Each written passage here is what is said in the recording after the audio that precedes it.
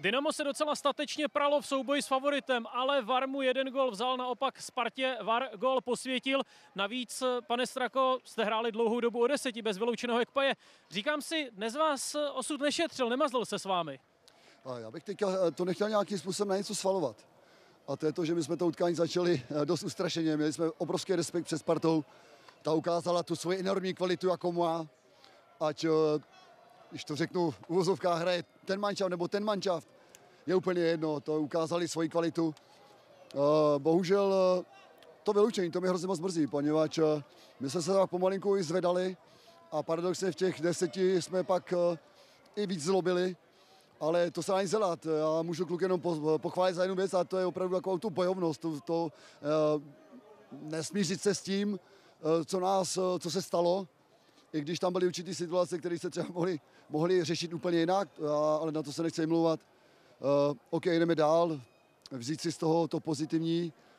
Uh, jak už říkal, říkám, ten mančaft Sparty je opravdu kvalitní na to a to dneska ukázal v plné míře. Vy jste zmínil kvalitu Sparty, jistě České Budějovice mají nějaké své limity, ale já jsem tu před zápasem zaslechl něco ve smyslu, no počkejte, František Straka, a teď to takto zaznělo doslova, vyblázní své svěřence. Tak jak jste své svěřence vybláznil? Musíme pokračovat dál. Tady uh, to je otázka to je vybláznit, nevybláznit. Tady to to, aby jsme drželi ten koncept, který jsme měli. A jak už jsem říkal, škoda, škoda uh, toho vyloučení. Ty jedné situace, to si musíme rozebrat, to se nesmí stát, uh, aby jsme dostali takového góla, kde podběhneme tu situaci, nereagujeme na to.